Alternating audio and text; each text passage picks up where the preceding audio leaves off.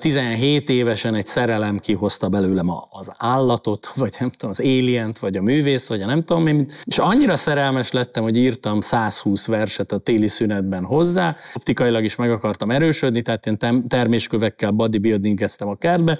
és valami olyasmit csináltam, amit utólag bodybuildingezésnek neveztem el, hogy Adi Endre, Babics, Tóth Árpád, Kosztolányi, József Attila és mások 10-15 versét körülbelül bevágtam gondolván, hogy valami irodalmi muníció is kell azért, tehát nem, ne, nem csak töltsön is az ember, ne csak lőjön. Az egyik legdurvább pont, amikor a Szorbon nagy termében 600 ember előtt, akiknek a zöme francia volt,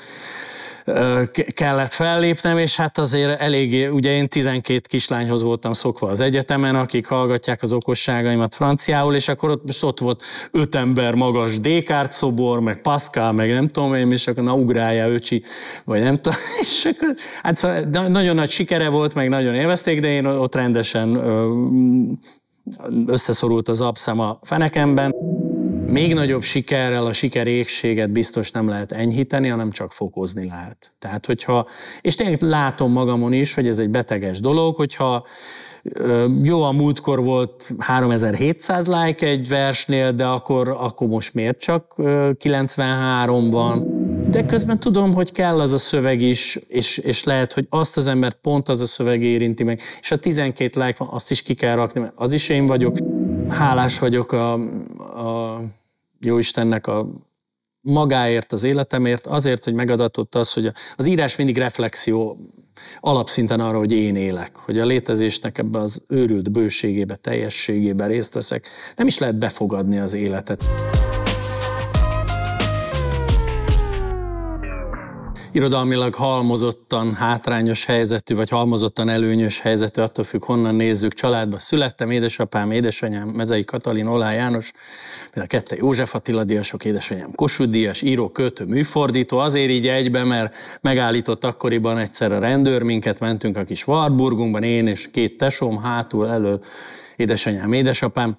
és akkor a, még a rendőrök ilyen nagyon okosak voltak akkoriban, mert, mert kis könyvecske volt a személyigazolvány, és lapozgatni lehetett benne, sok adat volt benne az emberekről, és akkor az, az a jó ötletet támad, hogy apukámat kifaggatja az adatairól, mert hogyha ugye nem az aki, akkor lebukik majd, és és akkor kérdezte, hogy, hogy szakmája, és hát apám érezte, hogy azért amit a villamosmérnök, vagy lenne valami becsületes szakmája, az jobban festene ilyenkor, és mondta ilyen félve, hogy hát olyan író féleség, és mondta a közeg, hogy nem, írókötőmű fordító. Mert hogy ugye az volt odaírva, tehát azt kell válaszolni, mi oda van írva. És akkor ez így egybe ragadva a családban ilyen, ilyen beszólás is lett, hogy írókötőmű fordító. Úgyhogy mindkét szülejem az volt, nem volt föltétlenül borítékolható, hogy én is az leszek. Én tenoristának készültem, operaházi tenoristának, ilyen vészes komolysága, tehát még, még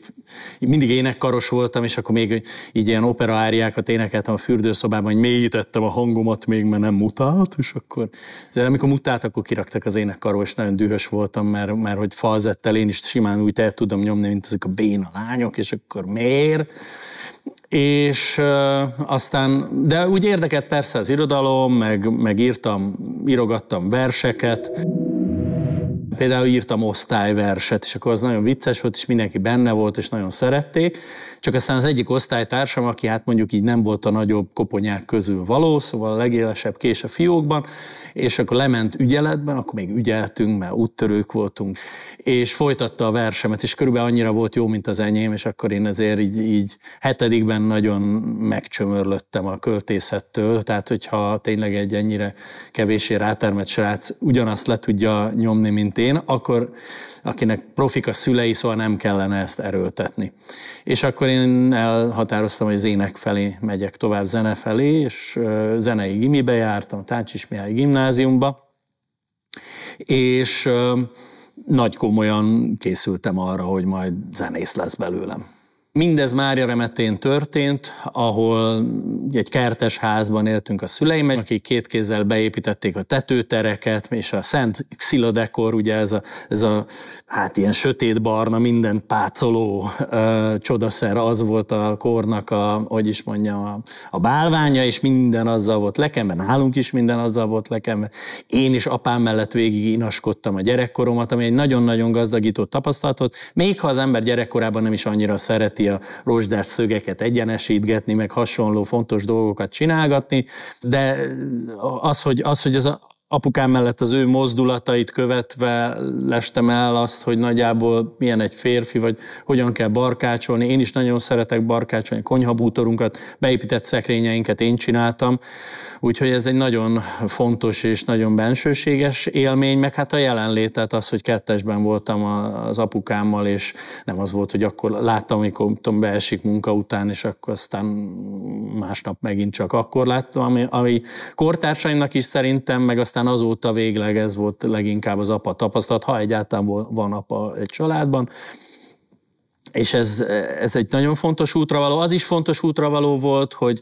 ö, tyúkokat ö, tartottunk, meg ö, össze kellett szedni a tojás, bezárni a tyúkokat esténként, cserépkájhával fűtöttünk, ö, paradicsomot termesztettünk a kertben, tehát, hogy ilyen földközeli emberke festettük a kerítést, ö, és így tovább. Tehát ilyen természetközeli, meg emberközeli közeg volt ez ott nekünk nagyon. Volt otthon tízezer könyv, és nem csak ilyen dísztek, hogy illik a kandalló színéhez, nem tudom én, és akkor az IKEA-ba veszünk ugyanolyan könyveket összeragasztva,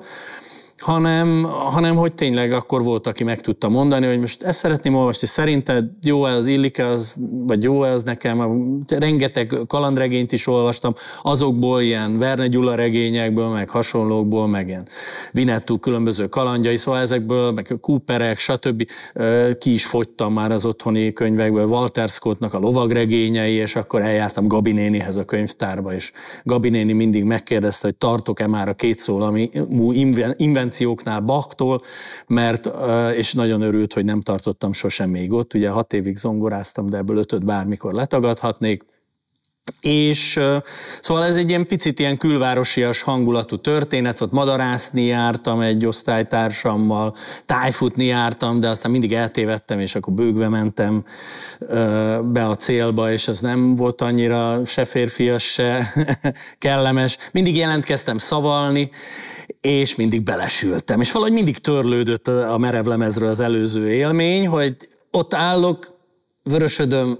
nem tudom, hogy ez most öt perc, vagy fél perc, vagy két másodperc, nem jut eszembe, nem onnan folytatom, és ezt egészen 20 éves koromban voltunk kint Brüsszelben ösztöndíjjal, egyetemistaként, és akkor is jelentkeztem, hogy majd én elszavalom a, a nemzetidat. Hát mindenki tudja a nemzetidat, nem? Hát én beleértve engemet is. Belesültem. 20 évesen felnőtt fejjel belesültem a nemzeti dalba, ráadásul a brüsszeli magyar emigránsok körében, akik így, ki ez a fiatal? Azt még nem tudja a nemzetidat, szűgyen gyalázat. Így ők simán feldaraboltak volna ottan, aztán valahogy kivágtam magamat, hogy hol sírjaink Nomborónak, unok unokáink, de szóval na ez volt, hogy, hogy, hogy valahogy, valahogy mindig belementem ebbe a szereplősdibe, nyilván bennem volt az izgágasság, és viszont kötött szöveget tényleg nagyon nehezen tanulok,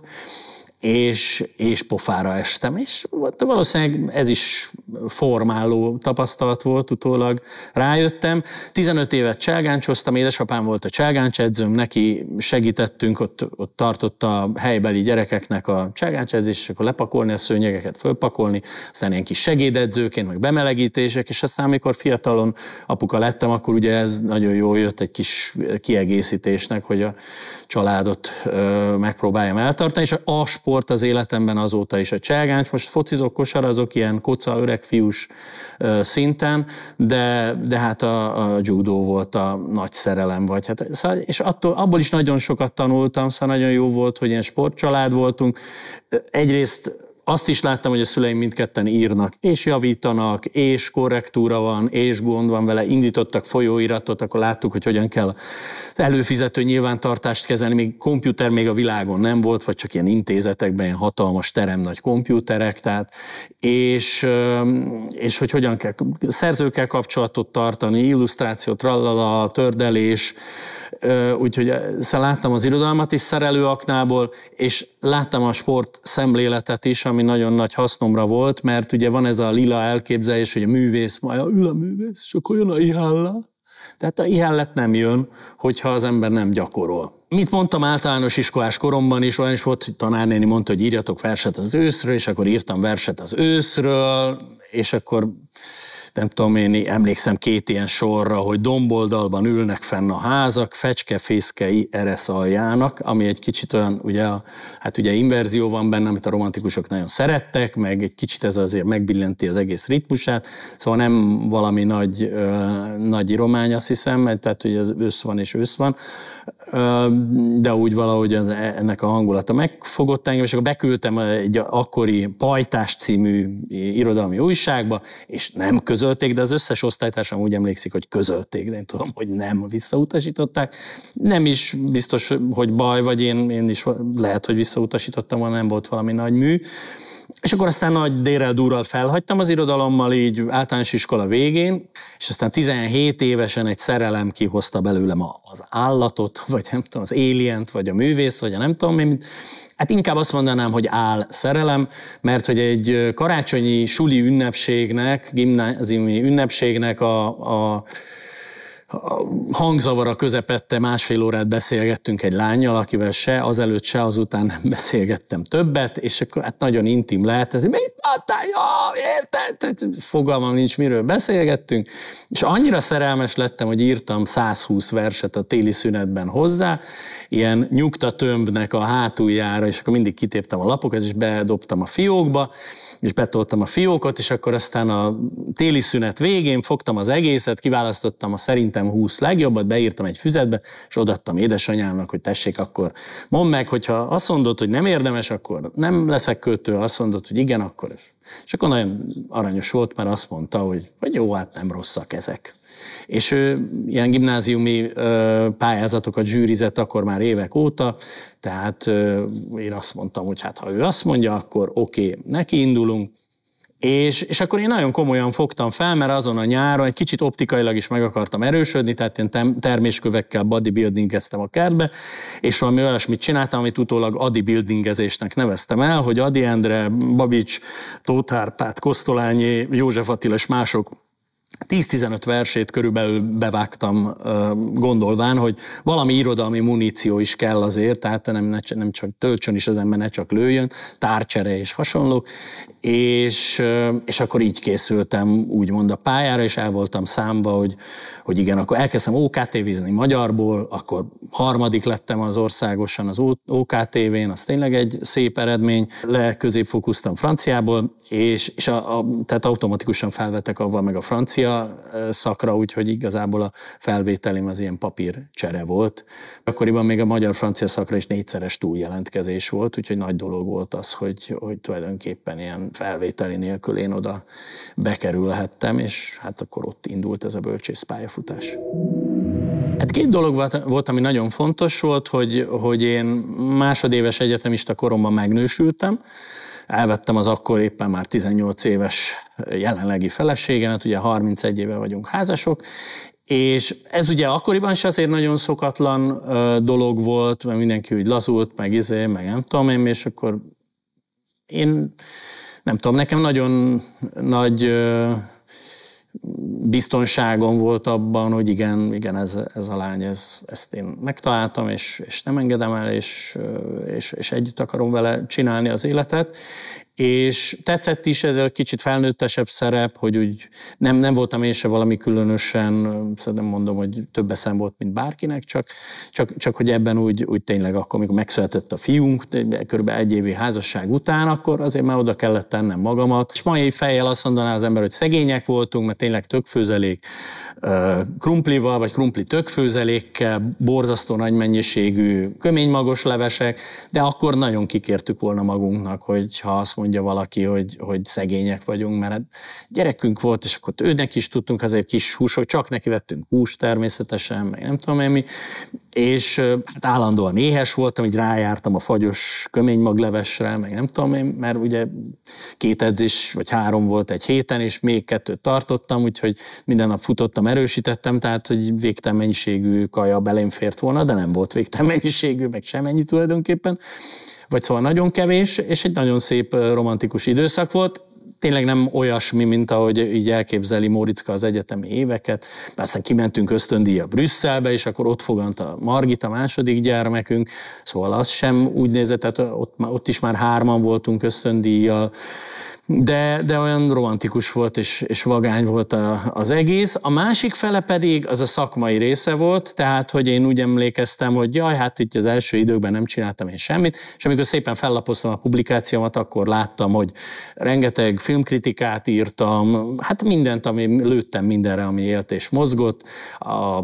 tudom, kiállításokról írtam, könyvekről kritikákat, tehát hogy ilyen kicsi pénzek, csak hogy valahogy összetatarozzam azt a kis megélhetést megélhetésünket. Tehát, hogy a, a kettő, az irodalmi pálya és a családos lét építette egymást, mert már csak azért is írnom kellett, hogy megéljünk valamiből, mert rettentő gyatrán, rengeteget fordítottam, rettentő gyatrán fizették ezeket az irodalmi munkákat, és, és akkor, akkor annál inkább pörögni kellett, hogy csináljam, és még ugye a saját magam kontójára, tehát amit magamnak írtam, vagy hát nyilván azt is publikálásra, de mégiscsak a, a, hogy úgymond egy épít, építeni kezdtem egy életművet, abban is ez, ez serkentő erő volt, hogy azért publikálni kéne, azért akkor egy kis honoráriumokat összerakosgatni, és így tovább. Az egyetemet másodéven ott akartam hagyni, amikor visszahívtak ilyen alumni beszélgetésre, hogy ilyen dicsőség, meg így úgy amúgy, akkor azért így az elején elmondtam, hogy annyira se az ELTE nem volt rám büszke, meg én se voltam az eltére büszke, de aztán úgy jól kijöttünk egymásra, de nagyon sok olyan kötelező tárgy volt, amire én úgy éreztem, hogy semmi szükségem az égvilágon. Aztán tulajdonképpen jól tettem, hogy nem tettem. Egyrészt azért, mert később 17 év egyetemi tanítást köszönhetek ennek, tehát az egyetemi oktatói pályámat, pillanat, amit nem adnék semmiért, tényleg nagyon nagy hálával és örömmel emlékszem rá. A másik pedig, hogy volt néhány olyan tanárélmény, amelyek pedig egész életet meghatározóak voltak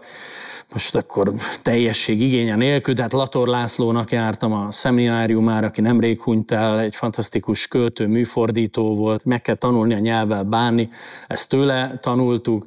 óriási volt. Akkor aztán volt Vajda András, aki a francia tanszéken volt, ő egy egész másfajta tanár egyéniség volt, nagyon nehéz, amit ő csinált, az nem is tudom, hogy lehet-e tanítani, én biztos nem tudnám, a csöndekkel tanítani. Tehát, hogy ő addig feszített, hogy Na hát, mit gondolnak akkor erről a szövegről? És így nézett, mint egy ilyen két éves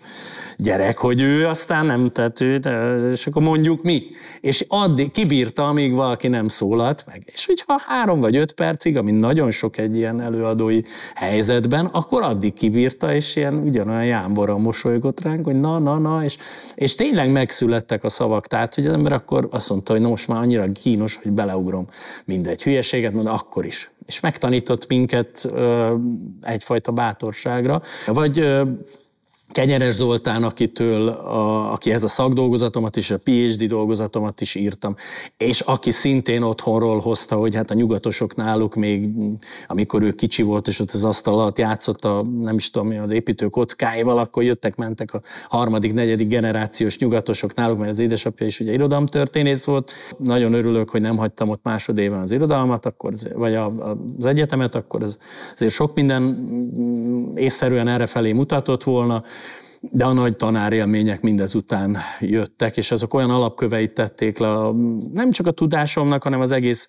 magatartásomnak, vagy írói magatartásomnak, irodalmári magatartásomnak, amelyekre ma is tudok építkezni. Felkavaró élmény a mai napig, ugye kiszámoltam, hogy körülbelül 20 ezer diákot tanítottam a 17 év alatt, és nagyon bensőséges dolog találkozni velük, vagy kicsit olyan, mint hogyha ahhoz tudom hasonlítani, mint hogy egy család, valaki régen látott családtagommal találkoztam volna. Ha tudom az illető nevét, akkor igyekszem meg is villantani, remélhetőleg nem tévedek, mert az ciki, de csak, csak a nagyon biztos vagyok, akkor domom be a keresztnevet és, és hát jó látni, meg ilyen közösségi platformokon, stb., hogy akkor családjuk van, akkor hivatásuk van, akkor csinálják a dolgot. Az egyik filmrendező lett, a másik írókötő, a harmadik, és így tovább, borászata van, és így tovább. Tehát, hogy nagyon nagy élményen formálódó emberekkel dolgozni, és én magam azt hiszem az elején igyekeztem nagyon jóba lenni, tehát igen, nagyon haverkodó voltam, és az elején tegeződtem is a diákjaimmal, tovább vittem ezt a szokást. Másrészt viszont nagyon föl tudtam, fönn tudtam azon akadni, hogyha valaki úgy éreztem, hogy nem tud valamit, és akkor pedig azt tudnia kéne. És így az első években azért úgy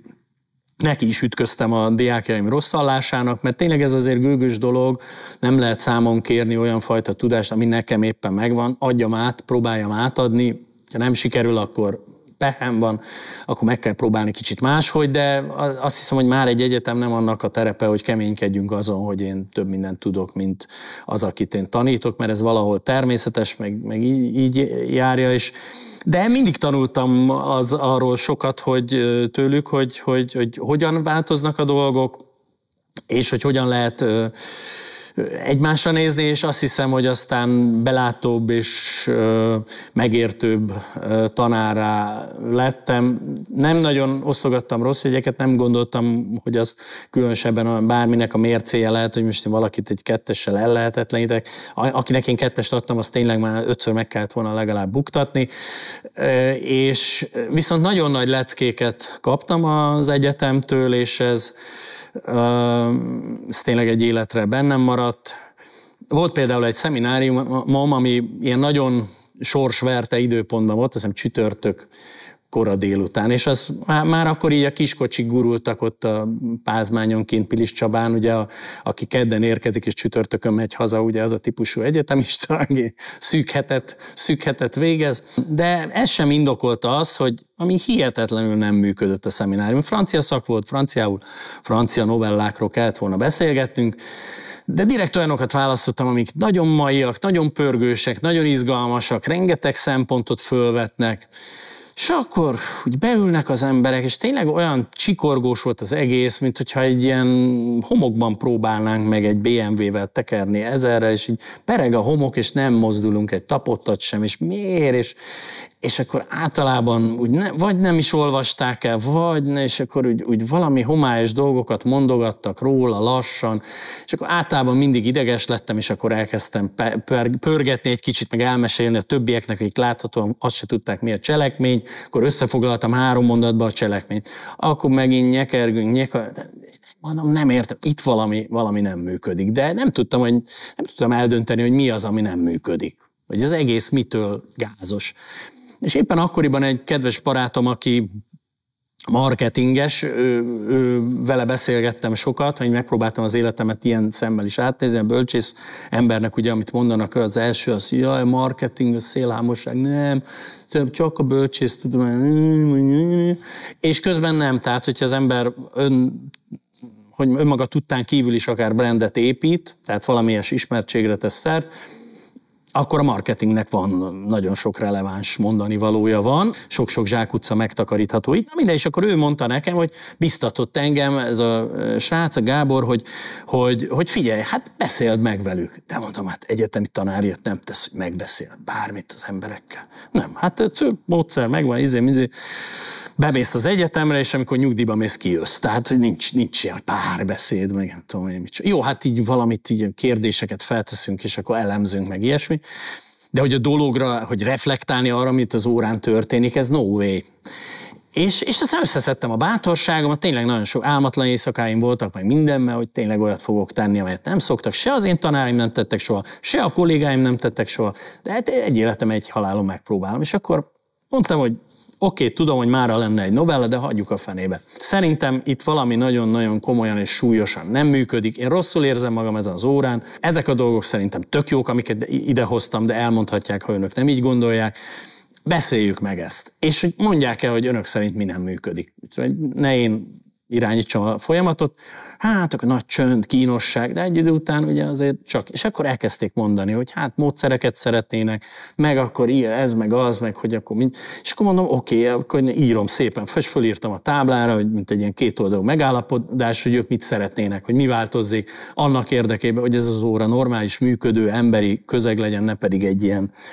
kínlódó, nem tudom, borzadálynak a pokla. És, és akkor én is elmondtam, hogy szeretném, ha elolvasnák ezeket az írásokat, szeretném, hogyha reflektálnának, ha valamit nem értenének, elmondanák, hogyha valami, valami a saját életből lett tapasztalatuk van, akkor ezt hozzátennék, hogy, tehát hogy, hogy éljen, mozogjon, ez, ez tényleg az irodalom az életről szól, hogyha meghalunk mielőtt éltünk volna, az akkor nem viszi óra. És akkor szépen felírtam én is a kis pontjaimat, és, és akkor mondtam, hogy, hogy oké, okay, akkor most egyezünk meg abban, hogy, hogy akkor ezt önök is felírták, én is felírtam, és akkor igyekszünk ehhez tartani. És akkor én jegyzetelni fogok a táblára inkább, és akkor fogok önöknek olyan szempontrendszereket adni, amelyek alapján elemezni kell. Hát ez már harmad, negyed éven volt, én nem gondoltam álmomban sem, hogy itt, mint hogyha szűzek lennénk, föl kell írni, hogy hogyan kell novellát elemezni. Hát abból indultam ki, hogy ezt már úgyis mindenki tudja, ötször elmagyarázták neki, és kiderült, hogy nem. És akkor tényleg hát négy-ötféle módszert a következő órán fölrajzoltam, a, és nem vált, szóval hogy mondjam, nem jött nagy áttörés, ugye egy amerikai filmben aztán mindenki minden díjat megnyer, és nem tudom én, hulla konfetti eső, és égbe repülnek a kalapok, nem történt ilyesmi. Tehát egy kicsit oldottabb lett a hangulat, talán többen elolvasták egy kicsit a novellákat, továbbra is, hogyha valaki nagyon dadogott, akkor összefoglaltam. Én, én igyekeztem a táblára írni, négy-ötféle elemzési módszert elmagyaráztam nekik részletesen, remélem, hogy használt vették, de sokkal jobb lett a hangulat, meg, a, meg egyszerűen a kommunikáció működött, és, és, és az a legutolsó órára már ilyen installációt hoztak, meg volt, aki egy csoki manufaktúrában dolgozott mellékállásban, és akkor hozott csokit, meg nem tudom, tehát tiszta happening hangulata lett a történetnek, és hát ami meg leginkább megérintett, az az, hogy hosszú évek után találkoztam, lehet, hogy akkor már évek óta nem tanítottam az egyetemen, összefutottam egy volt tanítványommal, és azt mondta, hogy, hogy hanem azt azért tanáról soha nem felejtettük el neked, hogy szóba álltál velünk. És, és akkor úgy, mm, az úgy megmarkolta a torkomat, most, most is valahányszor erre gondolok, hogy ugye, ők is nagyon sokat adtak ezzel nekem, hogy, hogy, hogy akkor elindult valami kommunikáció, meg, meg hát meg úgy tűnik, hogy akkor bennük is nyomot hagyott az, hogy igen, akkor, akkor itt lehet beszélni, és nem egy ilyen alá fölé rendelt viszony van, meg egy ilyen abszolút tekintély, amit nem lehet megkérdőjelezni. 76 kötetem jelent meg, fele körülbelül gyerekeknek, fele felnőtteknek, próza, vers, mesék, regény, novella, stb. tanulmányok vegyesen 42 vagy 43 könyvet fordítottam franciából, nagyjából egy olyan 3-400 szerzőtől fordítottam, franciáktól, belgáktól, de egyébként a világ sok más részéről is, csak vagy nyers fordításunk, tehát portugától kezdve a belorusz szerzőkig, vagy az indonész szerzőtől a kínaiig, ugye dél-amerikaiakig, nyers fordításon vagy francia verzión keresztül, és azt is nagyon-nagyon szerettem, ugye a nagyvilág folyóiratnak szintén 17 évig voltam az egyik szerkesztője, főleg a franciás anyagokért, meg aztán versrovatért voltam felelős, de időnként beleestek másféle akciók is, külön számokat szerkesztettem elég sok folyóiratnak. Azt is nagyon szerettem, aztán a Műfordítók Egyesület, amikor megalakult, akkor részt vettem abban a folyamatban, hogy belépjünk az Európai Műfordító Szervezeteknek a szövetségébe, és akkor kijártam ezekre az éves kongresszusokra. Ez is egy nagyon nagy nyitás volt, és egy nagyon nagy ráámulás a világra. Eleve az, hogy, hogy kim, szóval elég sokat jártam francia nyelvterületen, irodalmi fesztiválokon, vagy akár ösztöndíjasként Brüsszelben, az is nagyon sokat számított és nyitotta a világomat. Aztán, hát ami nagyon-nagyon meghatározó esemény volt, az a Kaláka együttessel való találkozásom, ami 2001-ben történt Franciaországban. Sorszerűen valahogy én éppen ott voltam a francia nyelvű kötetemnek a bemutatója kapcsán, akkor volt a magyar, magyart, vagy magyarosan mondva, ugye a magyar évad, kulturális évad, és, és ők pedig jöttek muzsikálni a, a párizsi magyaroknak, és égre földre kerestek valakit a koncerthez, aki felolvasna egy pár szöveget, mint a Villont, meg ami megvan franciául, a tudom, József Attillát, vagy a Radnótit, és mondtam, hogy hát persze, hát hogy ne, na, a legnagyobb örömmel. És akkor gondoltam, mert hogy ugye a közönségnek körülbelül az egy ötöde az francia ajkú volt, ugye férjek, feleségek, nem tudom én, gyerek, aki már nem tud, és így tovább rokonok, ismerősök, és akkor gondoltam, hogy hát nekik azért valamit ehhez egy ilyen kis pár mondatnyi hidat, az, hogy mi az, hogy, hogy magyar költészet, tehát ez olyan egzotikus egy franciának, mint hogyha itt azt mondanám, hogy egy, nem tudom én, mozgássérült mozambiki tűfestő, tehát egy magyar költő, tehát mi van? Tehát, hogy Magyarország eleve létezik, hogy ott vannak költők, és így tovább. És akkor, és akkor pár mondattal kiegészítettem, tényleg csak így felvezettem a dolgot, és olvastam fel a szövegeket, és akkor Grillus Dani utána hozzám oda jött, és azt mondja, hogy te figyelj, ilyet kéne még csinálni. Hát mondom, miért? Hát olyat, hogy, hogy, hogy te kommentálod a verseket, mert hogy egész más volt a figyelemnek a minősége a külföldiektől. Ők ugye jártak rengeteg helyen Japánban, meg Dél-Amerikában, ahol semmit nem tudtak az ő szövegükről, tehát valaki mondott két szót az elején, és aztán ők zenéltek, mint hogyha bármit zenéltek volna, de hát, hogy József Attila, meg egyáltalán, meg hogy ezek ki, és miért, és mit írtak, és miről szól. Hát az egyik dal ilyen, a másik dal olyan, és elment az is, de azt mondta, hogy, hogy itt olyan minősége volt a figyelemnek, amit így külföldieknél ő tapasztal, hogyha ha nincs ilyen átvezetés. Mondom, jó, nagyon szívesen, persze. És akkor aztán ezzel kezdetét vette az, hogy jó néhány évig Franciaország szerte, meg Belgiumban is, Strasbourgban, Clunyben, és így tovább járkáltunk a Kaláka együttessel. Hát a legdurvább pont az az volt, amikor az egyik legdurvább pont, amikor a Szorbon nagy termében 600 ember előtt, akiknek a zöme francia volt, kellett fellépnem, és hát azért eléggé, ugye én 12 kislányhoz voltam szokva az egyetemen, akik hallgatják az okosságaimat franciául, és akkor ott, ott volt öt ember magas Descartes szobor, meg Pascal, meg nem tudom én, és akkor na ugrálja öcsi, vagy nem tudom, és akkor, hát szóval nagyon nagy sikere volt, meg nagyon élvezték, de én ott rendesen összeszorult az abszem a fenekemben, és hát nagyon nagy kalandok voltak ezek, és aztán a kalandozás a Kaláka együttessel folytatódott, mert a Mársédüle Poézi Költészet Vására című őrült happeninget, ahol az egész francia költészet bezsúfolódik a Saint-Sulpice térre Párizsban, azt megpróbáltuk leutánozni ide-haza. És addig-addig próbálkoztunk, a Kaláka együttessel karöltve, addig-addig próbálkoztunk a Szentendrén, a közlekedési múzeumban, aztán az akváriumban, ami ma akkori Gödörben, aztán a Nemzeti Színházban, és valahogy mindig működött, működött, de nem robbant be igazán, és aztán a Kapolcson, a Kaláka versudvarban immár 13 éve sikerült elérnünk azt, a, azt az atmoszférát, amire igazán vágytunk, és az a három 400 ember tényleg, aki befér az udvarra, megzenésített vers, színpadi zenés vers, impró, gyerekműsorok, stb. Tehát minden, ami a versről és a zenéről így, így együtt szól és, és hát nagyon-nagyon örülünk, hogy egy nagyon komoly és hűséges közönség, és mindig rengeteg új ember is van. Van egy versműhelyem, ahol tudom én, 100-120-150 emberrel közösen írunk verseket, és így tovább, tehát ez egy, ez egy nagyon nagy kaland. Tehát a kalákának abban, hogy én ismerté váltam, nagyon nagy szerepe volt, meg is zenésítették a műveimet, elég sokat léptem fel velük, és hát az egyik lélekszámban is legnagyobb koncert, az például a Kaláka 40 volt, ahol én voltam a kommentátor, és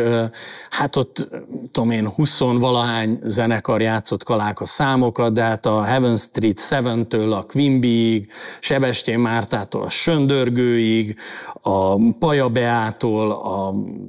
Kispál és a Borzik, tehát hogy valami egészen elképesztő és színes és sok nemzedékre kiterjedő, a Republik együttes még cipővel, akkor még élt, és, és így tovább, tehát hogy, hogy egy ilyen fantasztikus, és egy ilyen nagyon nagy összetartozás érzés is volt, és hát akkor, a, a, akkor már elég, elég sok, szóval benne volt a kilométer, elég sok író-olvasó találkozó volt mögöttem, Kiszámoltam, amikor 50 éves lettem, hogy Magyarország határain belül 12-szer kerültem körbe a földet írólvasó találkozókon, és nagyjából olyan 120 ezer felnőtt és 80 ezer gyerek előtt léptem föl, és hát e, e, ennek a fajta ilyen kicsit irodalmi stand-upnak minden hozadékát akkor oda bele gyömöszöltem, utólag kiszámolták a hangtechnikusok, hogy másfél órát beszéltem, amire nem tudtam készülni, de hát valamivel ki kellett vattázni ezeket a dolgokat, de olyan őrült hangulata volt az egész koncertnek, és ott tényleg nem ment ki senki, legfeljebb pisilni, és tehát, hogy, hogy senki nem mozdult, és egy fantasztikus hangulat volt, tehát az egy, az egy nagyon olyan élmény, amely szerintem pláne az én pályámon nagyon-nagyon ritkán jut ki valakinek,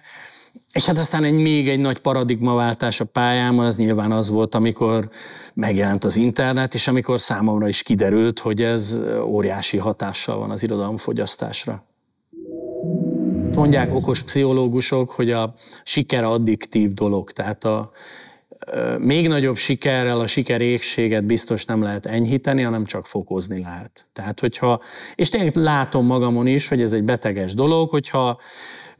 jó, a múltkor volt 3700 like egy versnél, de akkor, akkor most miért csak 93 van? De közben tudom, hogy kell az a szöveg is, és, és lehet, hogy azt az embert pont az a szöveg érinti meg, és a 12 like van, azt is ki kell rakni, mert az is én vagyok, csak nem annyira népszerű, nem jó időben került ki, nem a megfelelő illusztráció, tök mindegy, legközelebb. És ez látszik is, hogyha egy-két év vagy egy fél év különbsége kiteszem ugyanazt a szöveget, tök más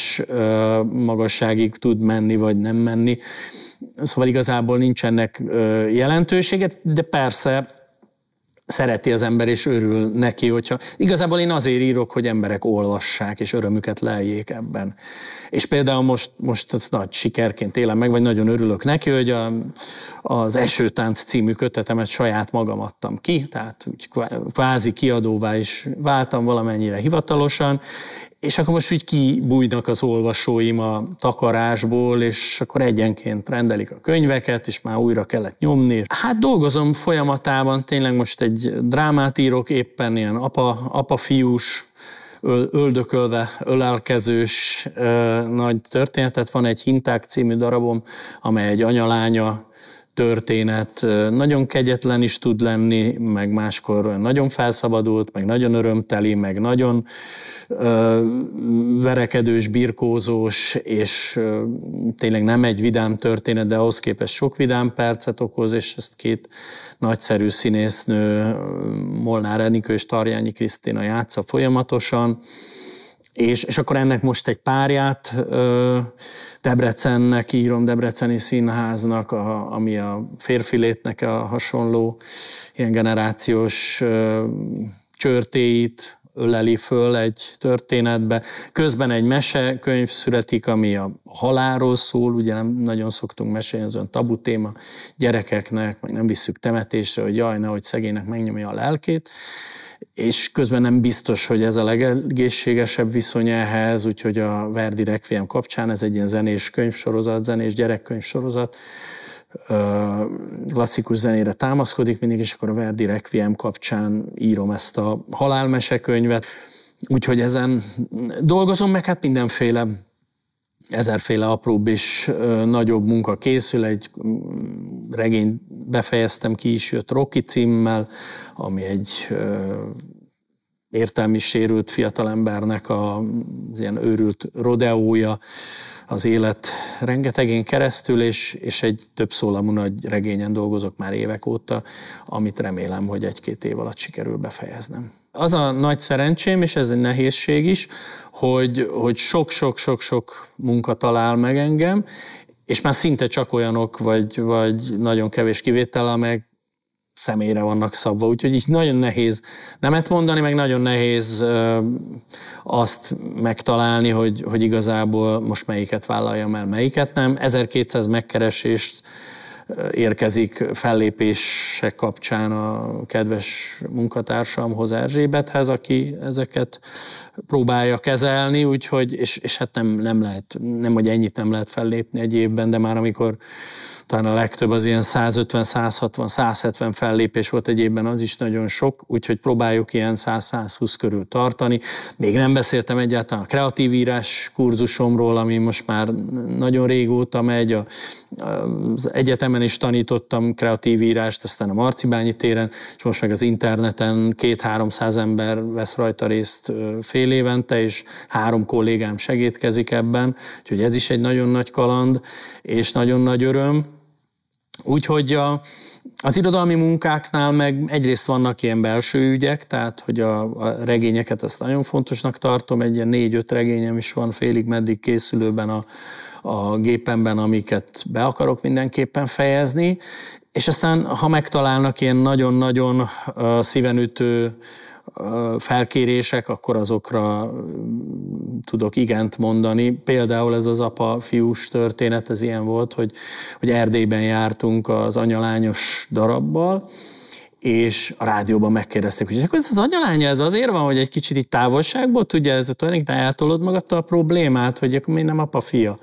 És akkor ez így, így, így szöget ütött a fejembe, hogy tényleg lehet ebbe valami, hogy milyen, milyen jó kérdés ez, nem tudok gyors választ rá. Lehet, hogy tényleg van benne valamiféle távolságtartás, és akkor egy egyel távolabb akartam megírni ugyanazt. És amikor aztán lementem Debrecenbe egy fellépés kapcsán, és valaki megkérdezte, hogy is nem akarok-e nekik egy apa-fia darabot írni, akkor így ránéztem, és azt mondtam, hogy té, té ember.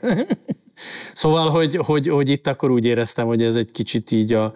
a jó Istennek a kopogtatása, hogy hoppá,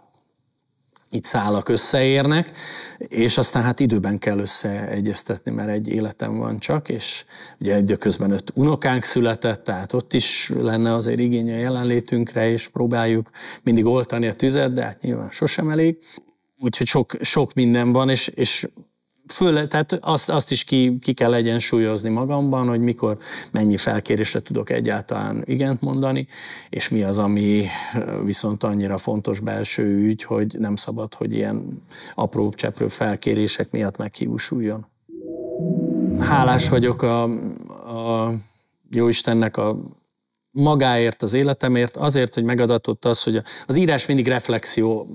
alapszinten arra, hogy én élek, hogy a létezésnek ebbe az őrült bőségébe, teljességébe részt veszek. Nem is lehet befogadni az életet. Tehát, hogy, hogyha egyszerre be, be akarnám fogadni a tapintás, szagok, fények, színek, ami itt történik, meg ami így keresztbe zúg rajtam, holott itt elvileg semmi sem történik, tehát egy nyugis helyen vagyunk.